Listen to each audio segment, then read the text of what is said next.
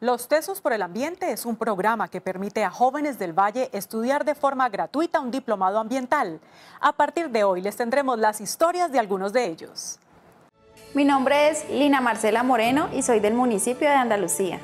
Fue una gran experiencia donde aprendí muchas cosas, donde conocí muchas personas también que hacen proyectos por el medio ambiente. Llenó mis expectativas eh, me ayudaron mucho a crecer como persona. Gracias a eso emprendí en mi proyecto. Bueno, como TESA por el ambiente, mm, apliqué todo lo que me enseñaron. Eh, realizamos mi proyecto. Mi proyecto es productos a base de aceite reciclado.